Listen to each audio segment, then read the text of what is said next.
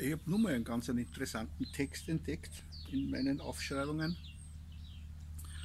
Und äh, da geht es darum, das Auge des Hurrikans ist das Leben. Stell dir das einmal vor.